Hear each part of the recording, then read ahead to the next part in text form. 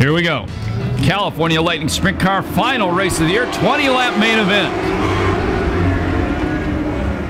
And the Zero is going to lead him through turns one and two, past street stock champion here at Perris Auto Speedway. Second spot is the leading rookie Hoover. The guy who's third in the rookie point standings, Queener, is the one out front.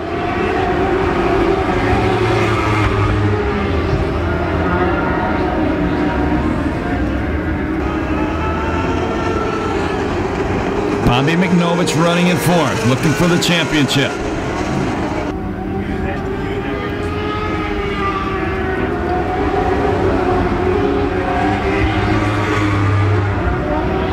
Now change for second. Michnowicz gets by Hoover.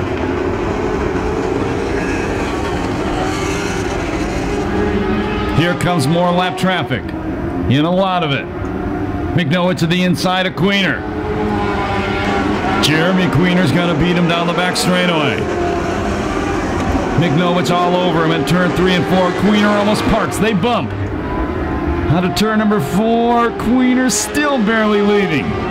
As Wilhelm goes up in smoke right as the leaders went past him, we're going to have to go yellow.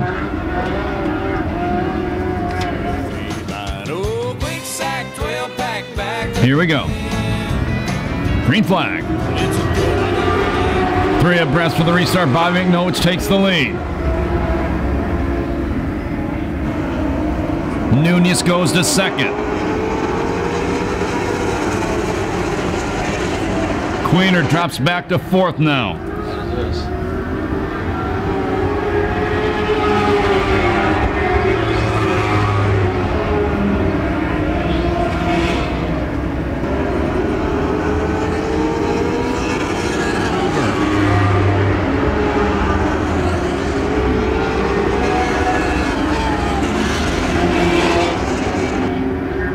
White flag the next time by.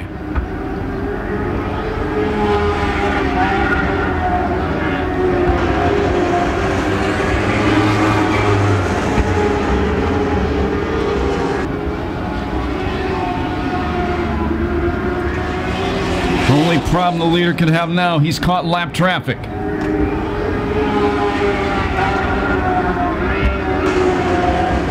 Gets by him. Comes into turn three the final time. He's going to win his second championship in two years. The new champion, the California Lightning Sprint Cars, Bobby Michnowicz. Second is Nunez. Third spot is Kevin Michnowicz. Fourth spot, it's Queener.